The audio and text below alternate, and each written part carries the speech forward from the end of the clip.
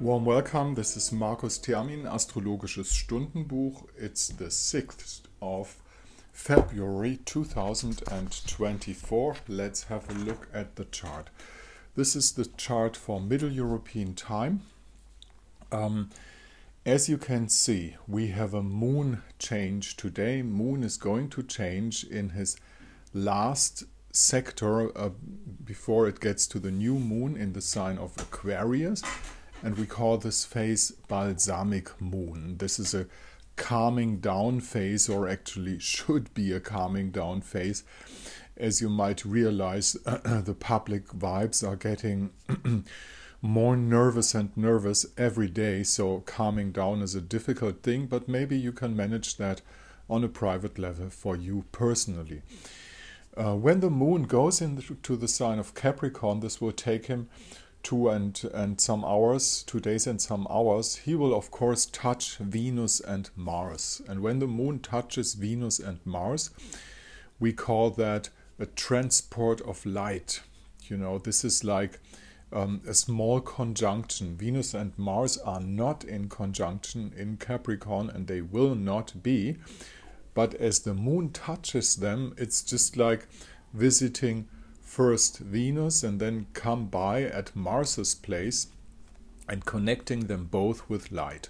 What does that mean? That means as Venus and Mars are in Capricorn, we um, have a good opportunity to rearrange the rules of our relationship in a way that they fit better for good working relationships. And we all need that. Relationships are not only love relationships, but any kind of relationships. But it's especially about the two sexes, you know, and um, men and women, Venus and Mars, of course. Um, the um, moon in the sign of Capricorn is always a moon. If you have it in in um, chart owners, it's always a moon of um, responsibility, and those people tend to pick a situation to make it harder than necessary for them. The, they, they, they kind of build up their own resistance in life, um, trying to fight against that, and um, you know, um, kind of um, wasting a lot of energy by fighting resistances they build up for themselves. Now, this is a special a gift that we kind of all have build up artificial resistances and fight against them um, as, as we fight against our own shadow, something like that, close to that picture.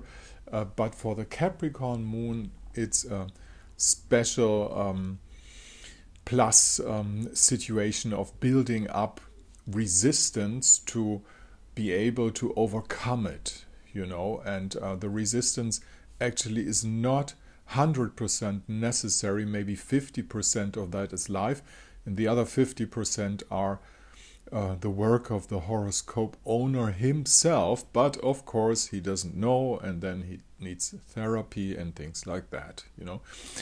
So, going to Capricorn moon, Capricorn moon is a moon of responsibility. It's um, it's kind of serious. Um, we're not born in a bed of roses, the Capricorn moon says. And a little bit of that we'll have with this balsamic moon phase just as well. The so called dispositor of the Capricorn situation is, of course, throughout all these days and present now, um, Saturn in the sign of Pisces, you know. So there is a background, and when you go further on, who rules Pisces. Pisces is being ruled by Neptune and then it stops.